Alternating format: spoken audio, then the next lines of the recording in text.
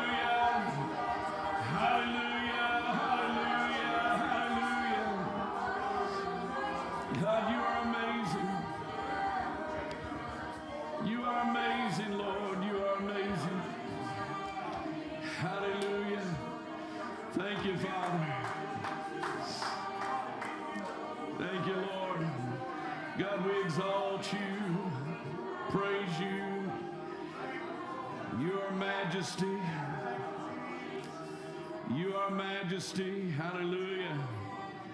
Thank you, Lord.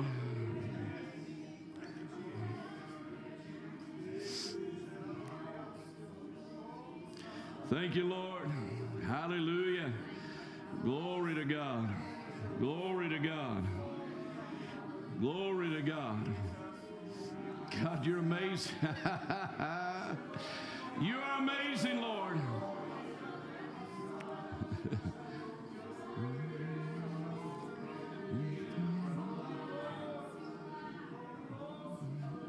Father. Thank you, Father.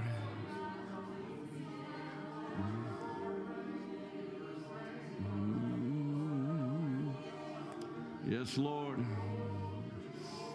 Ah, yes, Lord, we give you praise today.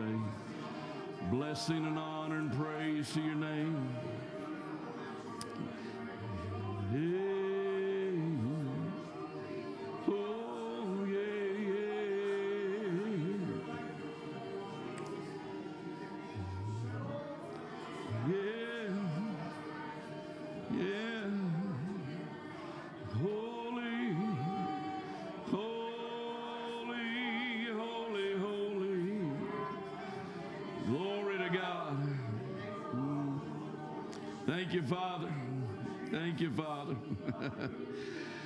you, Father.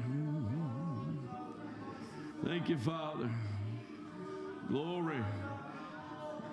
Amazing God. You are amazing, God. there is power, power, wonder working power in the blood of the Lamb. There is power.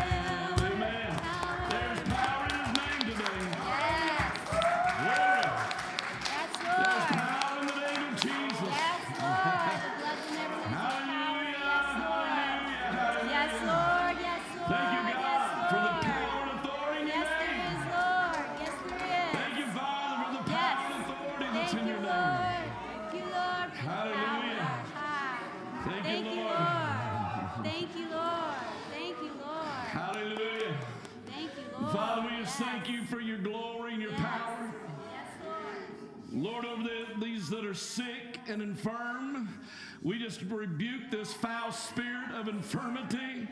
Break in the name of Jesus. We command you to go. You don't have authority over your over the people of God.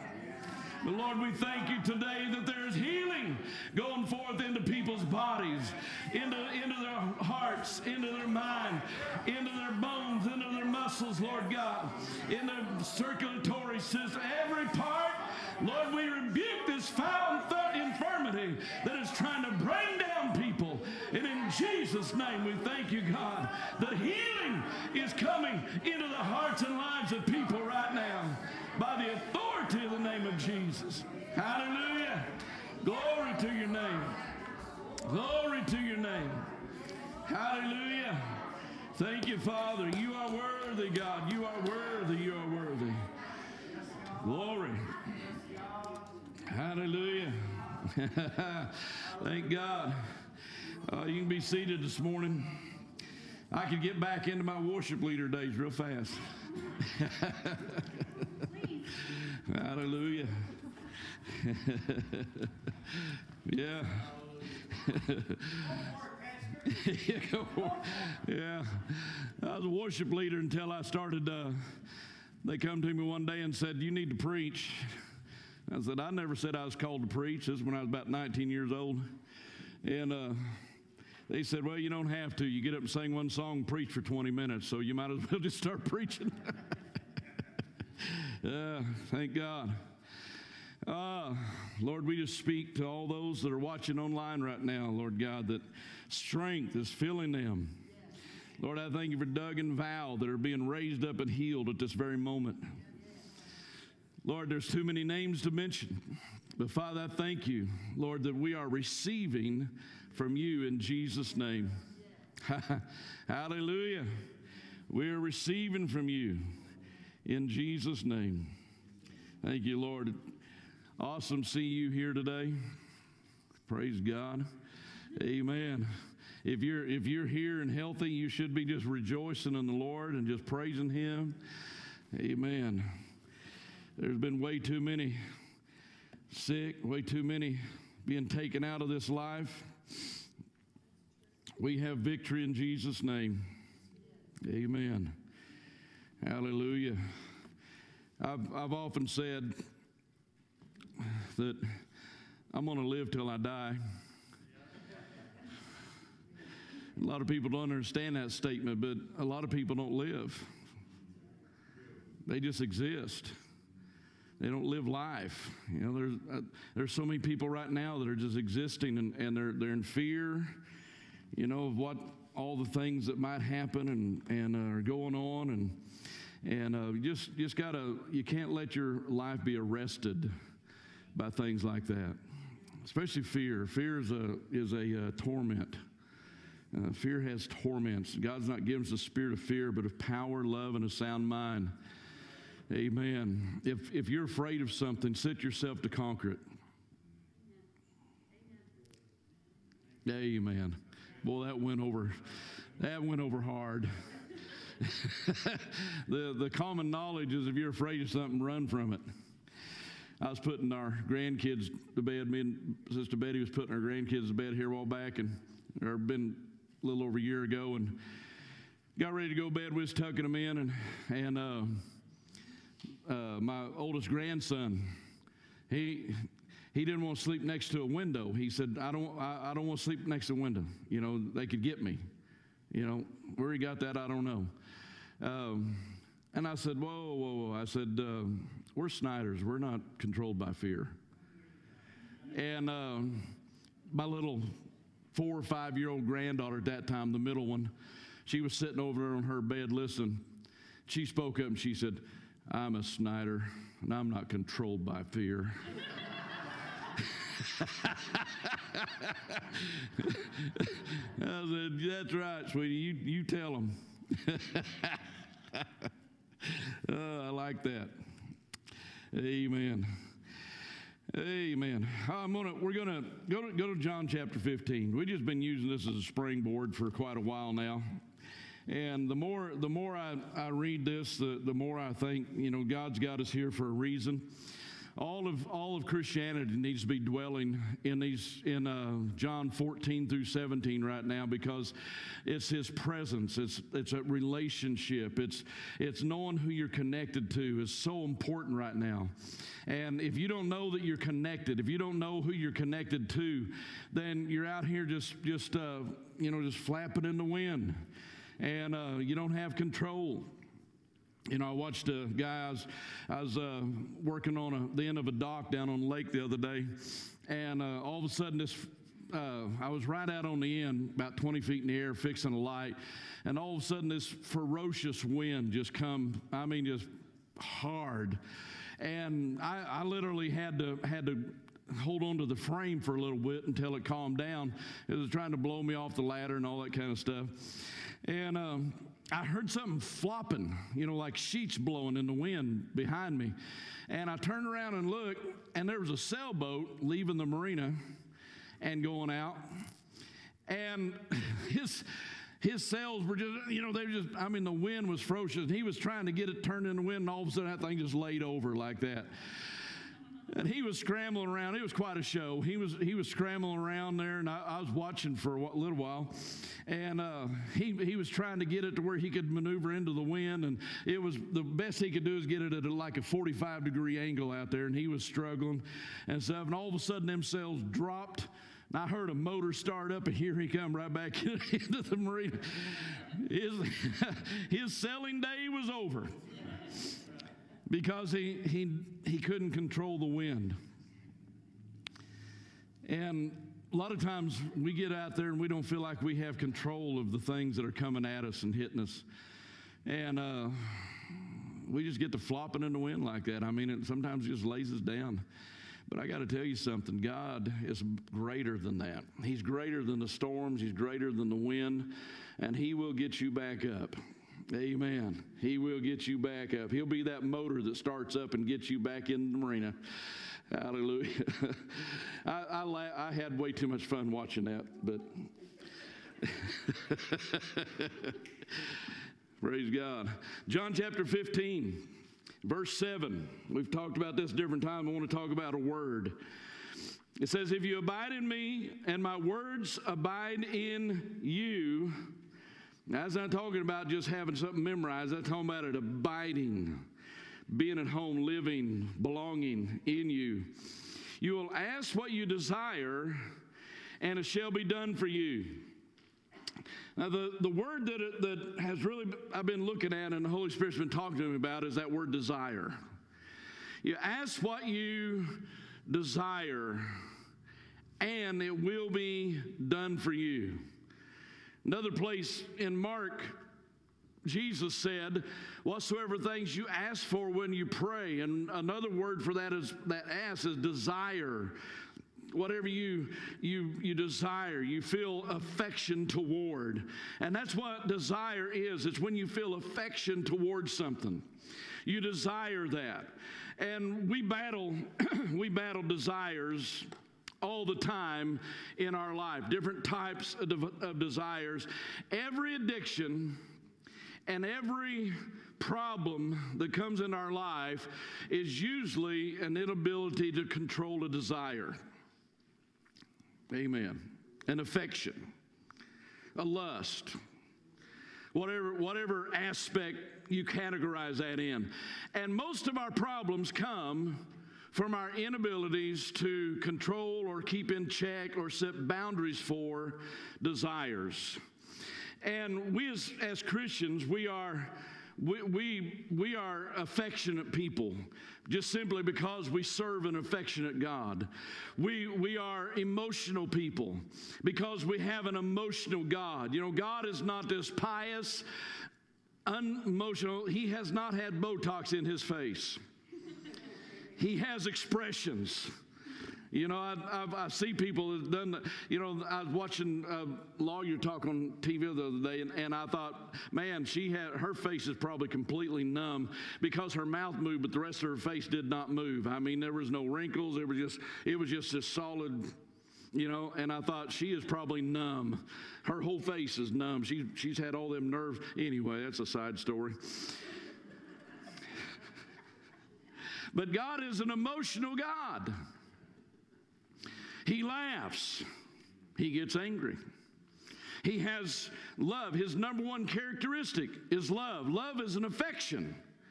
And so we don't serve an unaffectionate god.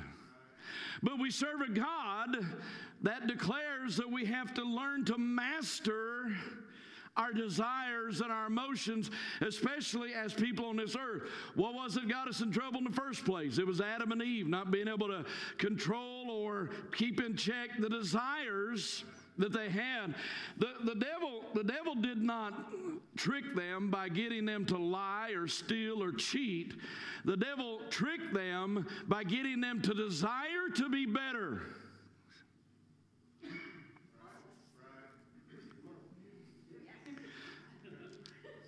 That went over hard. we live, we live in a, in a we live in a society today that's always trying to improve ourselves, aren't we? You know, the, the, the, the number one best sellers of Christian books are those uh, that, that tell you how to live your best life, or five steps to freedom, and seven steps to prosperity. And, and you can be, you know, you can be this way, you can be that way. And, and we're always trying to improve ourselves. And I don't have anything against that, except for the fact that once you begin to focus on yourself, then you begin to fail at improving yourself. Amen.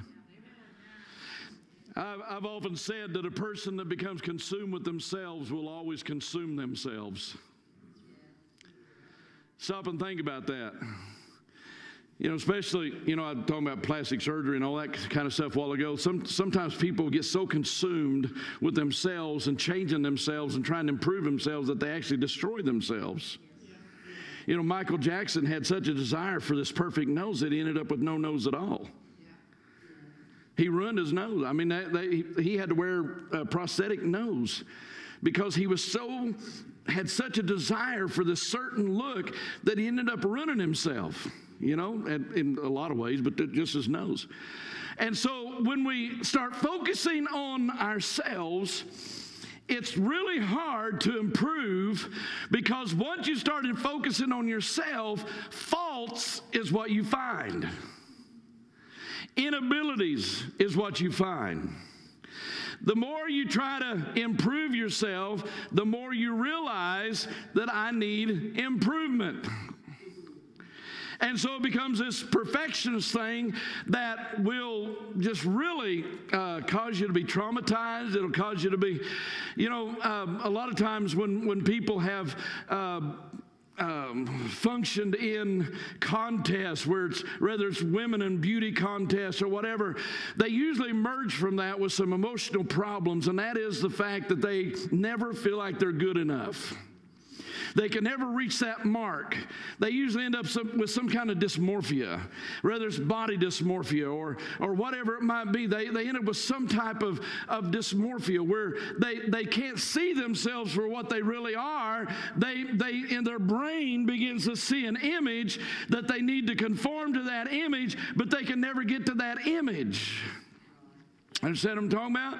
I'm not talking about, I'm not talking against taking care of yourself and all that kind of stuff. We need to do that. Amen. If if if you're if you're hitting a dozen Krispy Kreme donuts in the morning, then you need to check a desire. Amen. And some of y'all saying that's right, that's right, but you just pour that ketchup all over them French fries. There's a, there's there's as much sugar in three tablespoons of, of ketchup as there is in one Krispy Kreme donut.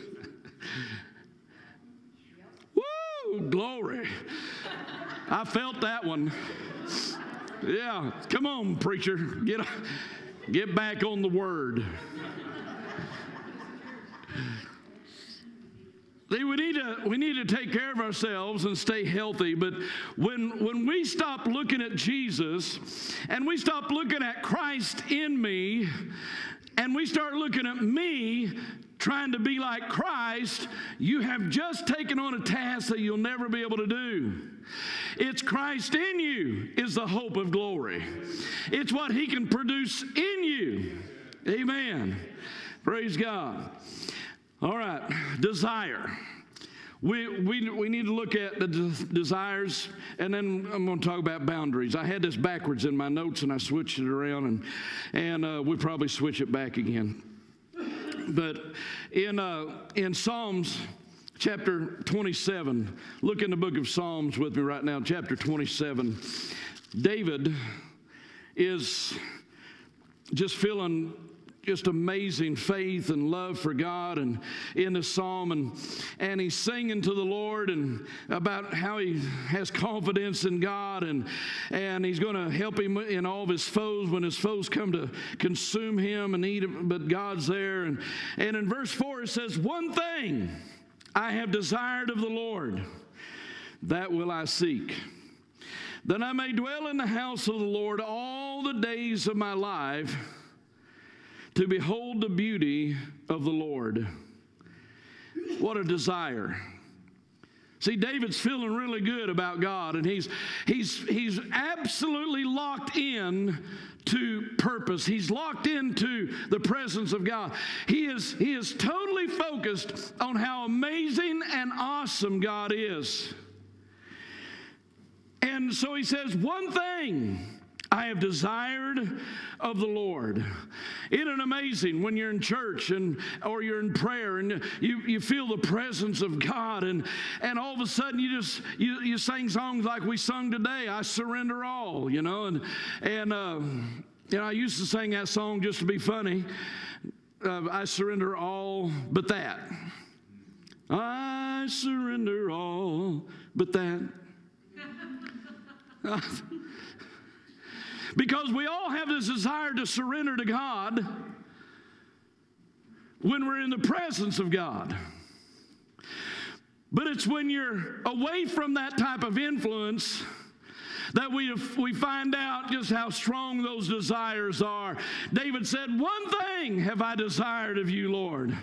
But yet in 2 Samuel, we find out that David had some other desires. 2 Samuel chapter 11. One thing about the Bible, it tells our good sides and our bad sides. It says, Then it happened one evening that David arose from his bed and walked on the roof of the king's house. And from the roof he saw a woman bathing. And the woman was very beautiful to behold. Now, at that point, is when David should have said, Lord, one thing I have desired of you.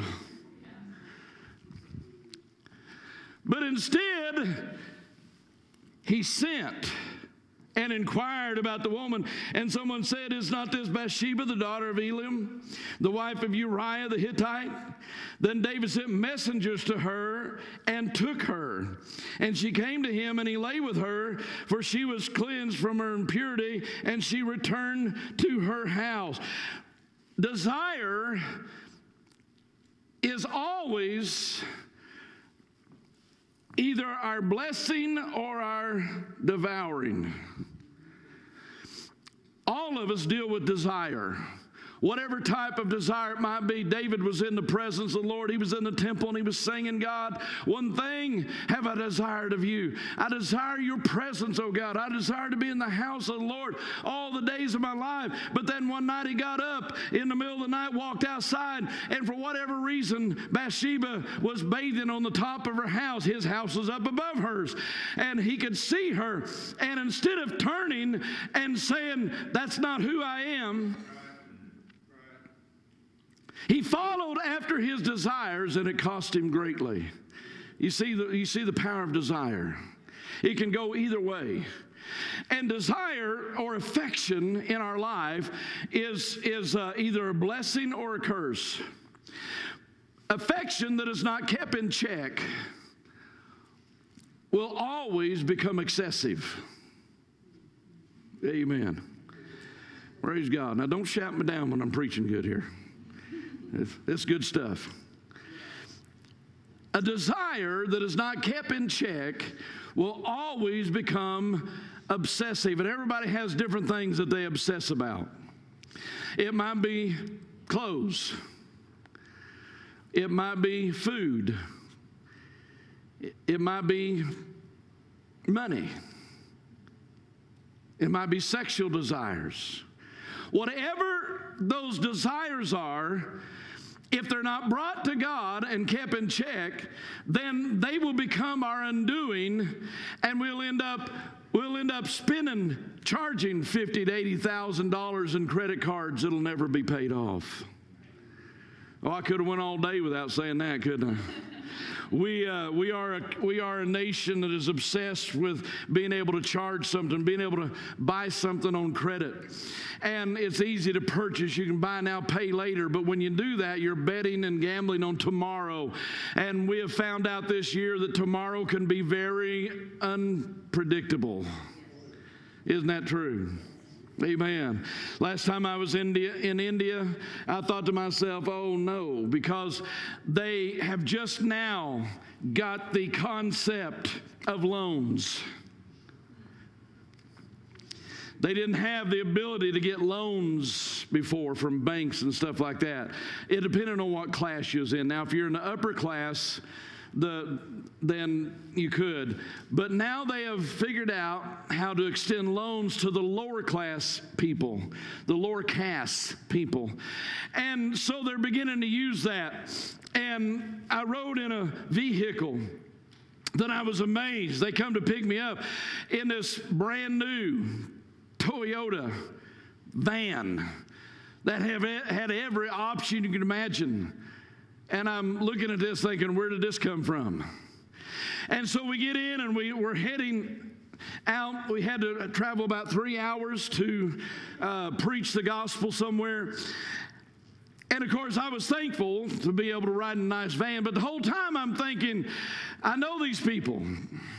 Where did they get this van? And finally, one of them, one of them spoke up and said, we, we now have the ability to get loans. I said, Really? They said, Yeah, this, this van costs $30,000, but we only have to pay so much a month. Like it was some kind of new concept. And my heart just sinking. I'm thinking, Yeah, that's true. But tomorrow, there might not be that payment. you know what I'm talking about? Man, it's getting tight in here. We're just, Come on, we're going to break some chains today. But it could be finances, it can be whatever you look at and you desire. Always back up and give us some time before you purchase because desires should never be the reason that you purchase something. Amen. Come on. Boy, pre- I'm preaching good now. Yeah, it's, it's getting hot and heavy in here. But David, David, he, he, this desire rose up. Matter, matter of fact, we look in David's life, and David, David had this unchecked desire in his life. I mean, he already had two wives, and here he's looking at Bathsheba. You understand what I'm talking about? A desire that has gone crazy, a desire that's gone out, out, out of control. And and he had, didn't have the boundaries in his life to stop this destruction. If you got the boundaries in your life, then the destruction will be stopped. It'll be stayed. If you say, This is where I live, there's, there's two statements that I've found to be powerful in my life. Number one, when, when discouragement and problems and, and things hit, hit my life, and when, when situations happen that are just, just tempt you to just be so discouraged and down and, and, and feel defeated, I have a statement that I found is very powerful because what you say to yourself determines where you go. And I found that if I'll just stop and say, No, I am not going there I'm not going down the road of discouragement. I'm not going down the road of disappointment. I might have the right to do so. I might, I might feel like it's my right and I've been done wrong and everything's went bad. But if I go down that road, I will end up damaging my life more than the original disappointment or discouragement has damaged my life. So I've, I've learned to say, you know, I'm not going there. It's just not going to happen. And I have to tell myself that continually. And then the second statement is this that's just not who I am. Everybody say it with me. That's just not who I am. Come on. I didn't hear that last part. Who I am. That is not who I am. Amen. Who are you? If you don't know, you're not going to be able to make that statement. Amen. That is not who I am. All of us, all of us are set up in situations like David and Bathsheba, and it might it might be a desire, it might be sexual desire, it might be finances, it might be all kinds of stuff. But you have to know who you are. Amen. You have to know who you are. I know that there's a lot of traps that are set for us. There's there's there's uh a lot of situations that we get into that we have to quickly determine what are my values? What are my core values? Because my core values is what's going to lead me in this situation. If I don't have core values established in my life, then I'm not going to be able to I'm not going to be able to do well in this situation, but I have core values established in my life that that have already predetermined what my actions are going to be. Amen. So, when you have those core values, temptation, the answer to temptation has already been predetermined in your life. And so, it's not going to take you over. You're not going to fall to that. There's always opportunities. There's always things laying before you. The sin is laying at the door. And anytime you want to open that door, you can. It's right there. Yeah, this was going to be a really awesome light message, and it is getting so heavy, so fast. yeah, and as and if that's what it's going to be, that's where we're going. We are going there. Well, the place where I work, I have to deal with this on a, on a continual basis, and all of us do. You know, there's there are there are Potiphar's wives out there, and and there are David's out there, and we have to determine what our value system is, and we have to say this: What am I going to be? What am I going to do? I was working on a slip the other day, and uh, I do electrical work on the marinas, and and so I'm especially in the summertime, I'm around people that are having fun, swimming and all this kind of stuff. And they swim off the docks, but they're, which they're not supposed to, but they do. You know, we don't always do what we're supposed to do. And I've, after several years, I finally got tired of just being the bad guy and telling them they couldn't swim in the water. And I just, you know, it says right there on the dock, don't swim in the water. If you get hurt, you know, there's a sign. Because for years I would go to them and say, guys, look, you can't swim off these docks. There's a chance of electrical uh, electrocution. You know, you could get hurt. You know, you got to find a place to swim. You can't, and I, I did that for years, but anymore, I, I just think, oh well, you know, you you can't control everybody, and uh, because you never know. I was walking, I was working on a dock the other day and just walking down the middle, and I, I just happened to glance over, and on this huge yacht, over $2 million boat. One of the leads, I just happened to notice that one of the big uh, electrical leads was not plugged in the back of the boat. There was two of them, and one of them was missing. And so I stopped what I was doing, walked over there, and when I walked over there, I looked down, and exactly what I figured, it had come loose, and there that lead was hanging in the water, feeding 240 volts of electricity in the water, backed up by, by 50 amps per lead, hanging in the water. And water is not a ground, it's a, it's a conductor. It's a really good conductor. So the problem with that is if you get in the water, and you go and touch that, that dock and you're close to it, you suddenly become part of the circuit because the dock is grounded. And so once that happens, your hands, once you touch that dock, your hands grab hold of that metal and you cannot let go. No matter what you do, you can't let go. And so you just sit there with voltage running through your body until your heart stops beating. That was just a public announcement service for if you're swimming around a dock. Okay? It doesn't matter how much how much safety we put in building the systems, there's always things that go wrong. Sometimes boats have problems that happen inside the electrical system in a boat and they start feeding voltage out the prop. So if you're in the water and you swim behind that prop, all of a sudden you're in the current and you feel it.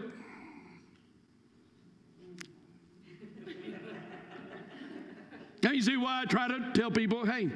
And so anymore, I'll walk over to them and say, hey, you know, you're not supposed to be in the water, but listen to me. When you go to get out of the out of the water, please touch the dock with the back of your hand. Just just touch it with the back of your hand before you grab hold of anything, and that way you'll know that it's safe. Because if you touch the dock with the back of your hand, you'll get shocked if there's a problem, but it won't grab you. But if you touch it like this, you're going to grab hold of it and nothing's going to be able to get you off of that, okay? Y'all needed to know that.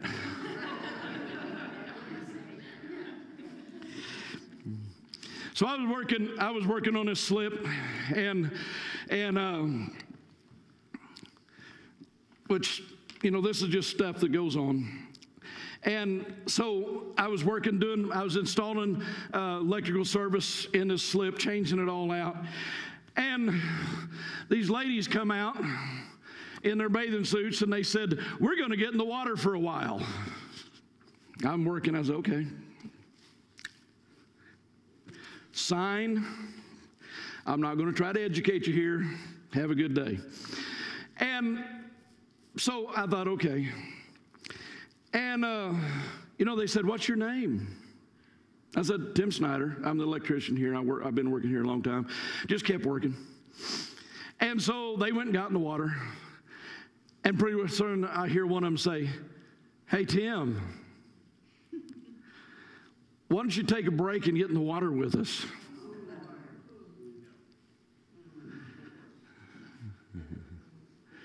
You ever feel like t- taking that coat off? Now, in a situation like that, you have to have predetermined responses. Okay? And my response was, not going to happen. I've got work to do.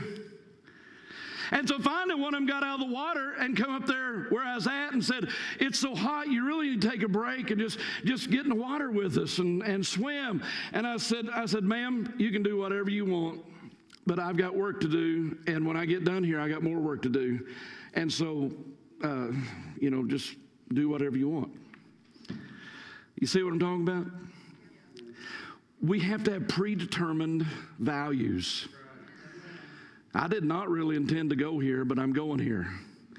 If we don't have predetermined values, then when a temptation of whatever kind is presented to us, then we have to stop and try to assess what my response is going to be. Now, if I have desires in my life that boundaries have not been set for, then I'm going to have a problem in that moment trying to make up my mind of what I'm going to do. Am I going to make that purchase?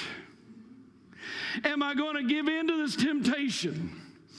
Am I going to eat that cake?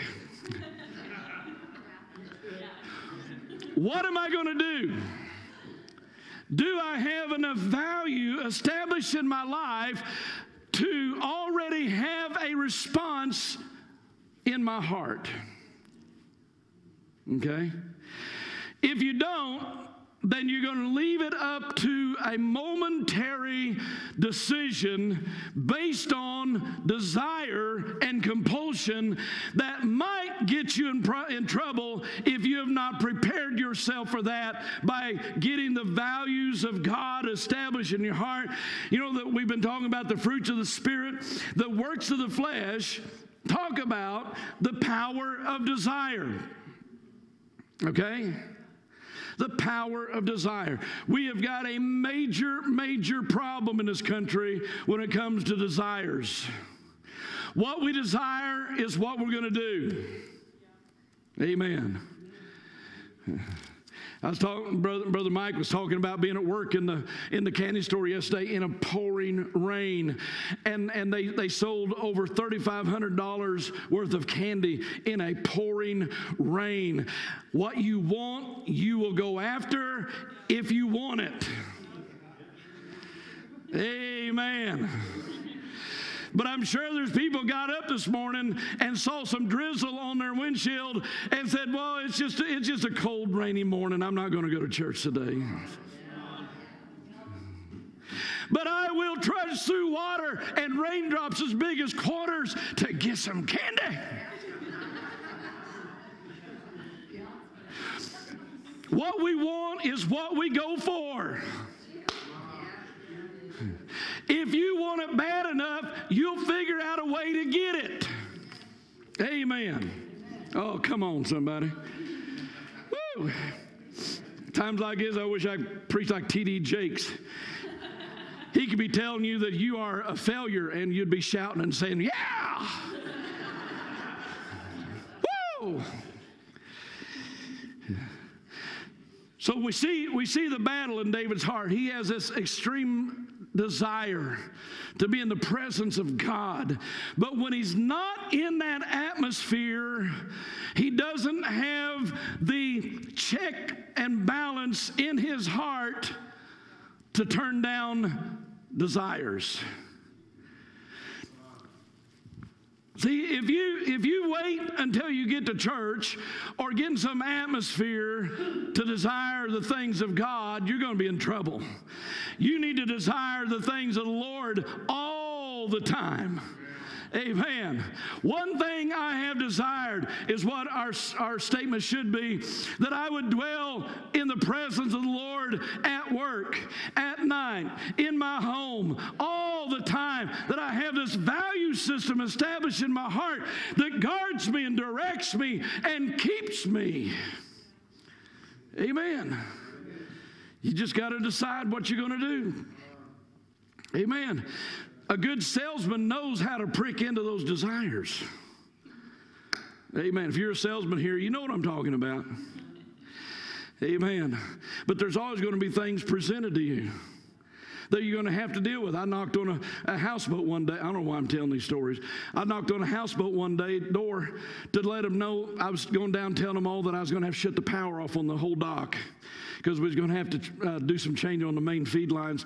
And I was going down through there knocking on doors, and I knocked on this one houseboat, and the young lady opened the door with nothing on. Just and she answered the door. She said, Yes. And I said, We're going to be turning the power off, so I just want to let you know. And I turned around and walked off. And it's like, What was that all about? Did she just all of a sudden think, oh, I don't, I forgot that I didn't have anything on? No. People have certain desires that drive them. You got to decide whether that's going to be driving you. Amen. I never tell these stories. I don't know why I'm telling them today. I mean, it's just everyday life. I've been doing it for almost, for 18 years, and it's just everyday life. But you got to have, you got to learn what it is. If you have a desire to to manipulate, if you have the desires to manipulate, you're gonna you're gonna manipulate people, and and it's going to get you in a lot of trouble. It's going to cause relationship problem. You got to want. You got to ask yourself, what is it I really want in my life? What kind of person do I want to be? Because outside influence will only go so far to help you. The real stability has to come from within you. Amen. Wow. Let's, let's talk about some boundaries. In, in Exodus chapter 12, verse 22 and 23, why, why does God set boundaries?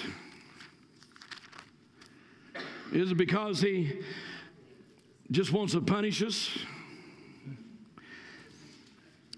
Exodus chapter 12, verse 22. It says, And you shall take a bunch of hyssop, dip it in the blood that is in the basin, and strike the lintel of the two doorposts with the blood that is in the basin. And none of you shall go out of the door of this house until morning. Now, why God was setting a boundary. Why was he setting a boundary? For the Lord will pass through to strike the Egyptians. And when he sees the blood on the lintel and on the two doorposts, the Lord will pass over the door and not allow the destroyer to come into your house, houses to strike you.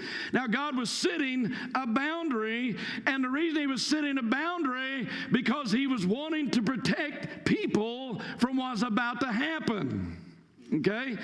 Now, they could have said, you know, you're not going to tell me what to do. I'll do what I want to do. Come on, somebody. And they could have went outside, they could, they could have rebelled, but they would have suffered the consequences. God does not set boundaries. The Word of God, in Deuteronomy chapter 20, chapters 27 and 28, there's a whole lot of thou shalt nots. You know what that is? It is not God saying, I don't want you to enjoy life. It's God saying, I want you to understand what destroys life and what gives life, and I'm trying to set some boundaries for you so that you can stay out of this destroyer mentality. Today we have people saying, You can't tell me what to do. I, I, put a post on Facebook yesterday about don't judge me. That is the number one statement. People that don't know any other verse in the Bible, they know that one. Don't judge me.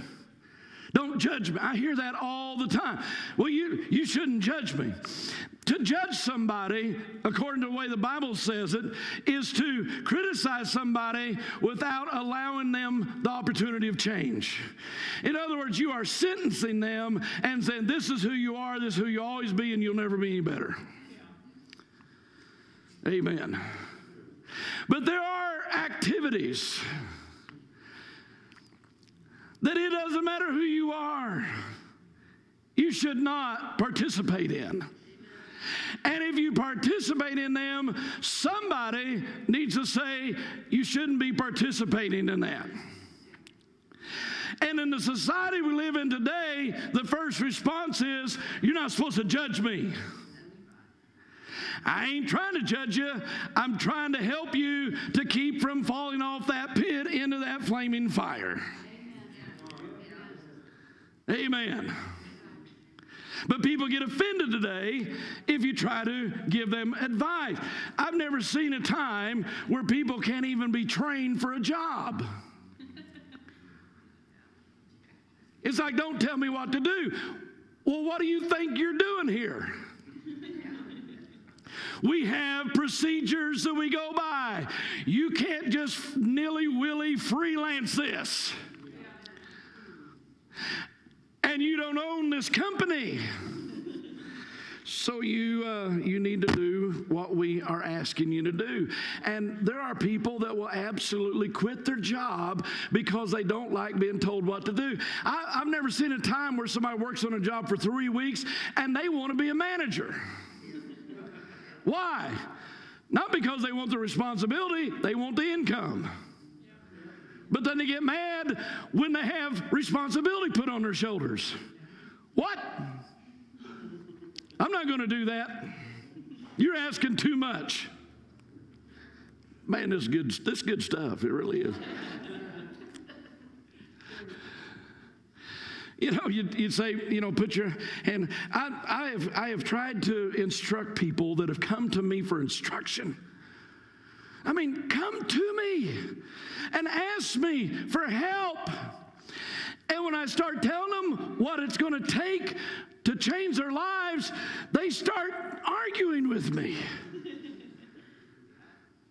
and debating with me. It's like, okay, you obviously have the PhD in screwing your life up. Why are you talking to me?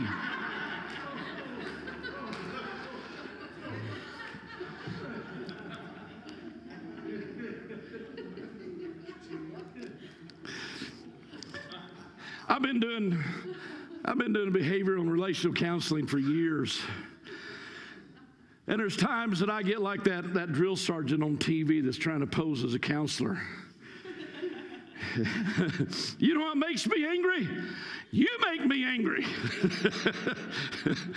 Let's run you off to Mamby Pamby land and get you some self confidence.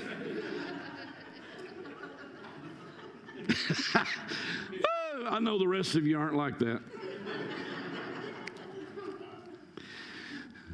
But we, we reject boundaries. We reject things. We reject being told that you've got to drive in this lane.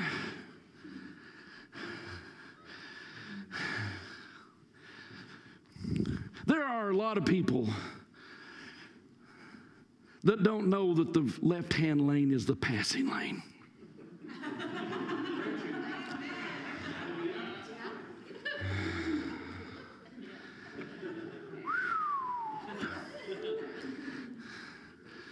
Got the crew sit on 55, running right alongside the other traffic in the passing lane for miles. Come on, somebody. What are they saying? I'll drive wherever I want to drive. Amen. And then all of a sudden, somebody not paying attention, looking at their phone, driving 75 mile an hour, all of a sudden hit them right in the back, and they don't. They get upset because somebody hit them. Well, some man, the opinion just went crazy in this room. I mean, wow! I would not want to take that one to court. Boundaries. Why does God set boundaries?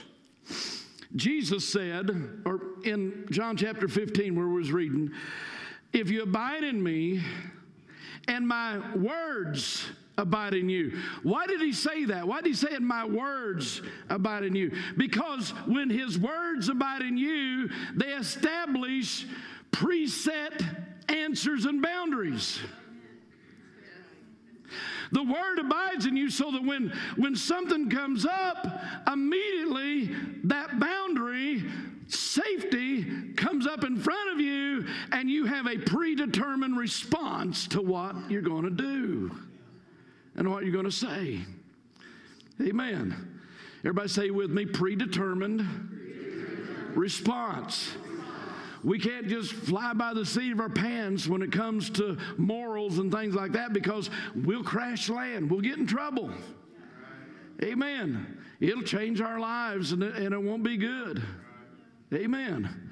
So we have to establish these boundaries and these, you know, in, in relationship, there always has to be boundaries. If you want to have a long lasting relationship with anybody, you have to have these boundaries that, that you keep in your life. Even in marriage. Now, in marriage, I mean, there's not a whole lot of boundaries. We, we get very familiar with each other in everything. But you still have to have boundaries in your life, even in marriage. And those boundaries are what I'm going to permit myself to say, how I'm going to permit myself to act. You still have to have boundaries. You know?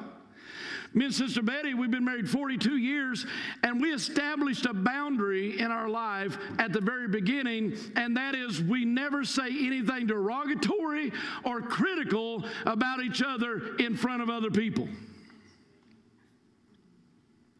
Not even in a joking manner.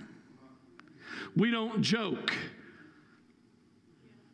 in passive aggressive statements. Man, I am dealing with some stuff today.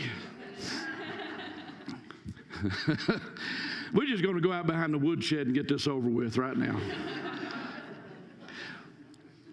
we established those values in our life at a very early age, especially with our children. We never confronted each other or corrected each other in front of our children. If one of us felt like the other one was saying something wrong, and it was usually me, being too aggressive because I was always very aggressive and very dominant and and and uh, you know whatever you know you do it and all this kind of stuff. I know, honey, I'm going a long time. Whenever you correct each other in front of your children, you have just showed your children that they have the right to do the same thing. And then you get all shook up when your child backtalks you. Where did you get this? They learned it.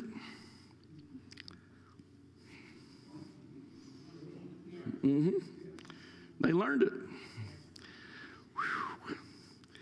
Your grandchildren, some of y'all my age, your grandchildren, you need to teach the same thing. You got to keep those boundaries. How you behave and how you treat each other and even in even in private sister betty a lot of times she would not agree with me about the way that i spoke to our kids because a lot of times i'd be very demanding or harsh and afterwards she would catch me by myself and she'd say you really need to apologize because you was way too harsh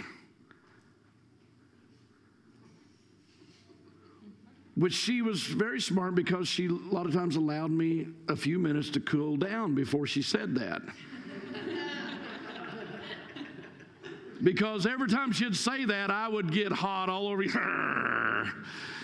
you ain't heard nothing yet. They don't start minding me.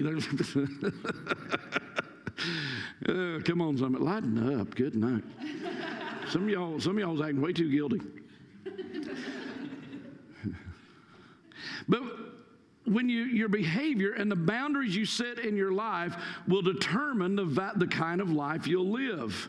And it's not up to somebody else to set those boundaries, it's up to you to set those boundaries. Amen. In relationships, I always maintain boundaries. I never allow myself to get too familiar with people, and that's because I want to protect them. I want my friendship to last a long time. Amen. And friendships that don't have boundaries never last a long time. As a pastor, I always get nervous when I see people that have gotten acquainted with each other and they start they start stepping over boundaries that are safe and I see it happening and I think we are heading for a crash. And sometimes I'm able to step into that and say, you know, you need to kind of back off there a little bit. You need to, you know, be more respectful or something like that. But a lot of times I'm not able to. And I know that we're heading for a crash. And I know that it won't be long that they're going to, both couples are going to leave this church because they get mad at each other. One of them gets offended then the other one gets offended. And it just amazes me. One family will end up leaving the church over it, and you think the other fan would stay? No, they leave the church too because it happened here, so they can't stay here because, Pastor, you're supposed to be able to stop this stuff. Come on, somebody. Oh, man, I'm going to get back up here. It's getting dangerous down here. What is it? It has to come from the inside of you. It has to be something you possess. Because if it's not something you possess, it's not going to be imparted to you. You have to receive it and you have to activate it in your own life. Man, I'm going to quit. Amen. Desire in 1 Corinthians chapter 14 verse 1, Paul told us desire spiritual gifts. Affectionately desire spiritual gifts. All right? We've got a lot of problems in this country that could be handled very well with just boundaries and expectations. Amen. Boundaries and expectations. Our society needs to learn to have expectations again. Come on, somebody. You know, don't put your expectations on me. Well, there's expectations that need to be put on us. Amen. When my kids and my grandkids, even my grandkids, you know, your grandkids kind of get your heart a little more than your kids did for some reason. I think it's because you're older. And uh, and you've been down that road, and and uh, you know they, they just they grand grandkids just connect to grandparents. I mean immediately. You don't even have to tell them to. They just they just do that. And man, they can they can really they can really mess with your emotions and your affections, and and uh, they they know how to they know how to get you. Yeah, it's a conspiracy. I'd never had I'd never had daughters, never had girls in my house. And the first little daughter, little granddaughter I had, she was about two and a half years old, and and I got on to her about something. You know, she was doing something, and I said, "Hey, stop that." You know, because I even my grandchildren, I expect behavior out of my grandchildren. I will not I will not condone bad behavior even in my grandkids. I mean, I I want them to be productive citizens. I want them to grow up good. And so I got on to her, and I was sitting in a chair. She come running over to me, kissed my hand, and turned around and ran off. I looked at my wife and I said, I, I don't understand. what was that? How am I supposed to respond to that? And she was just sitting there smiling. And I said, I said, that, that, that, that's weird. you know, my boys, they'd always bow up at me. I'd get on to them, you know, and so we had to have it out. And, and she run over and, and kissed my hand. And so I had to decide whether I was going to be able to continue expecting proper behavior out of her.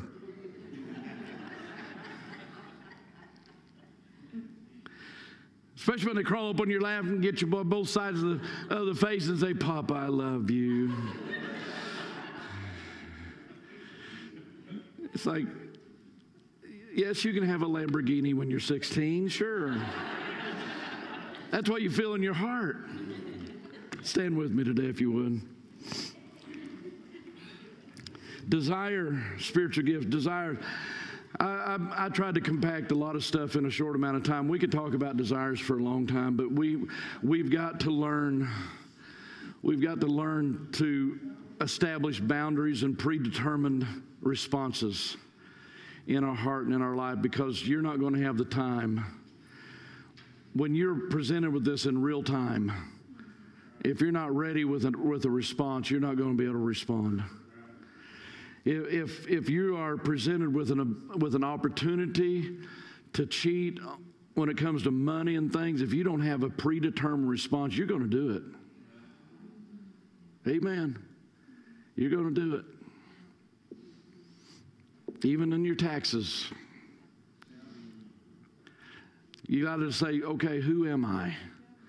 What am I? And what am I going to be? See, this, this is very important for the church because going forward, it don't matter who you are, what you are, where you go to church at. It doesn't matter. It, what matters is the church is going to have to say, who are we? And what are we? Father, I thank you for this today. I thank you, God, for putting into our hearts, Lord God, the, the insight and understanding and Father, when we preach messages like this, Lord God, we, we have to, it, it, it comes down to us relating to you in such a level, Lord, that we're able to adopt who you are inside of us.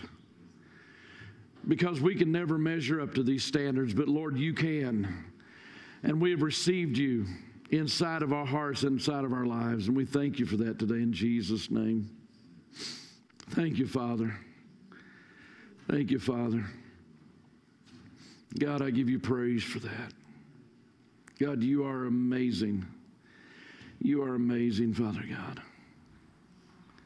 Hallelujah. You are amazing, Father. Thank you, Jesus. You know, as I preached this message, I knew, I began to sense that I, I was talking to people that was struggling with this stuff. We all do. But when it becomes compulsive is, is when it really becomes a problem. Compulsive behavior is, is really difficult to change. And all of us have different things that we're compulsive about. You know, it's, it's hard to change those things.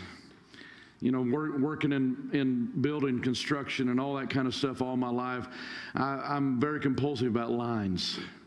Lines when I'm putting up conduit and things on docks, I mean, a lot of people are never going to look up because most people don't see above six to seven feet in a room. They never, most, most of you never see the ceiling, never see above head level.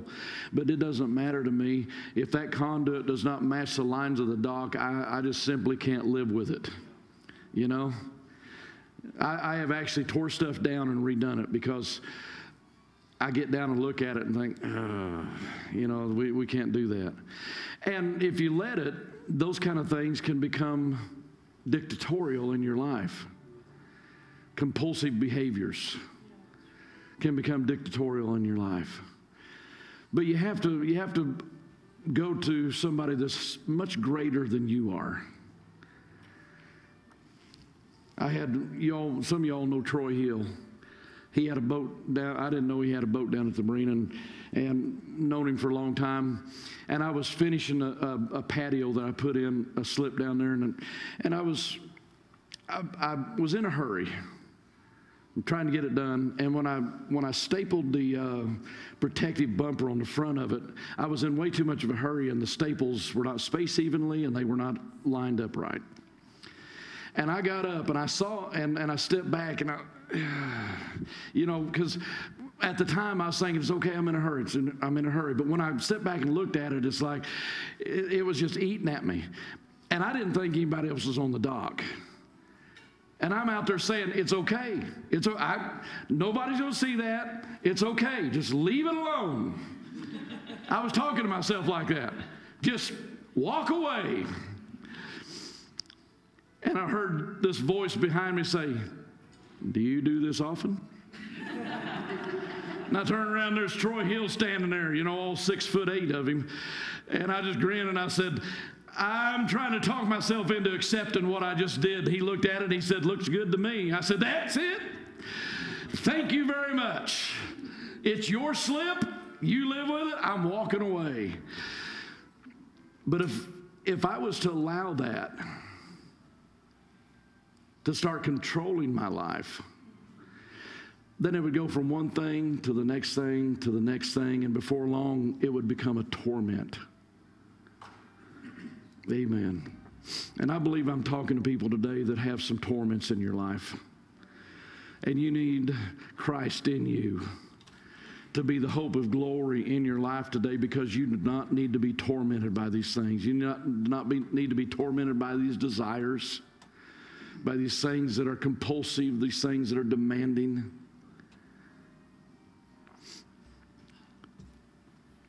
That are going to wreck and ruin your life if God doesn't help you with it. I have, I have talked to young ladies that were skin and bones, and they look in the mirror, they see themselves as being fat. There's dysmorphia. It's like that's torment. That's not, that's not just wanting to look, that's torment. That's obsessive torment. I've, I've been around men that constantly obsess about the fact that they don't have what somebody else has. And they can't seem to get there. And it's, it's this dysmorphia, it's, it causes them to be tormented. Father, I just pray right now, God, that you just put your finger on our lives, put your finger on our hearts, Father.